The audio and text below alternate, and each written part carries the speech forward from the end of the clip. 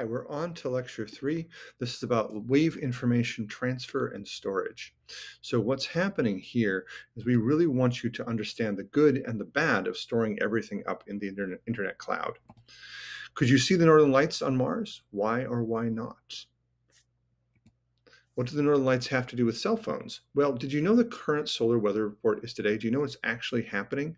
This is from uh, the matrix is talking about search and destroy. The electromagnetic field that actually surrounds the Earth has a great deal to do with how well our cell phones work, whether or not you have cell phone coverage at all, whether or not any electromagnetic field that we are generating can actually be get where it needs to go. Up here, you actually can see up here, you can actually see this. If you follow this link, it'll give you every 30 minutes the Aurora Borealis forecast. We had Aurora Borealis this last week in Maine. Uh, if you were following this, you'd see it every on a 30 minute schedule.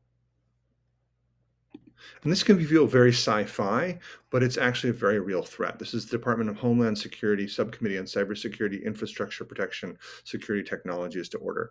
The subcommittee will be meeting today to examine the threats of critical infrastructure proposed by an electromagnetic pulse. A single nuclear warhead shot off in the high stratosphere could give us an electromagnetic pulse that could theoretically knock out all of our electrical form all your phones, all your cars, all of your computers. Basically pulses them, knocks them all out. And the idea is how do you make things tough enough to withstand something like that?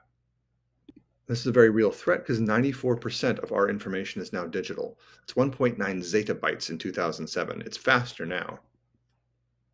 Now, have you ever lost a USB? These little things that used to plug into your phones or you plugged into your computer. They're little discs that used to have basically little hard drives, if you will, you plug in. If you've ever lost a USB, you understand that it's hard to keep a track of digital information sometimes.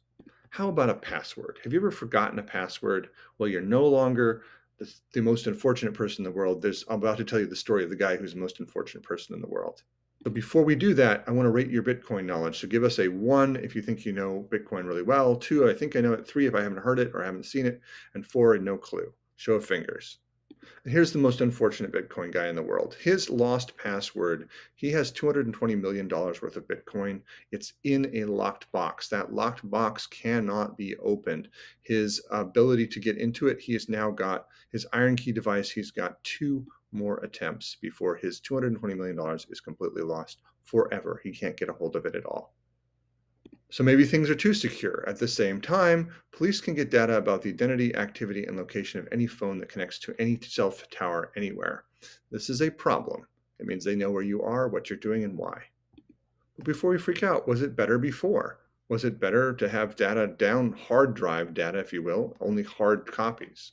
So before you'd have to put everything in these storage containers, all of these things, they're just rotting in, in real time. Uh, 10 years uh, was the maximum they could keep these things around because things would stock up. If you had all your x-rays in these individual cabinets, they had to get rid of them after a while to put more stuff in there. So that's how they used to store medical records. And of course, all of that confidential information would be very confidential because you couldn't find it because there's big piles of paper. I still have big piles of paper from the 70s, 80s, and 90s. It just piles up and it rots. So is the loss of security worth it? This is a great John Oliver tape that you should watch separately from this. Watch the watch the slideshow. Go through my slideshow and watch this John Oliver tape because he's talking about the most difficult problem that we have with security at this point. Specifically, he's talking about a guy named Edward Snowden. And if you don't know who Edward Snowden is, you've kind of missed the last 20 years of cybersecurity. What you should know about the tape you just watched is actually the Snowden interview had happened before HBO knew it even happened. Snowden intended to lead Hong Kong travel. This is information that will helpful. People think that Snowden is this crazy guy, extremist but he's actually not that way. What he wants to do, what he wanted to do is talk about a violation of the US Constitution. So this Snowden guy really is a patriot in every way. The trouble is is that he's being targeted by the NSA as being a terrorist. And here's a quote from Snowden Although the internet's a very much a troubled place, I think it's something worth fighting for and something they can improve. And this is how Snowden would actually deal with his own cell phone. And this is another quote from Edward Snowden talking about records, recording our lives for every time. And next thing we would talk about is what's in your pocket and what that matters, how that matters to the world. Thanks for coming. That's all I've got.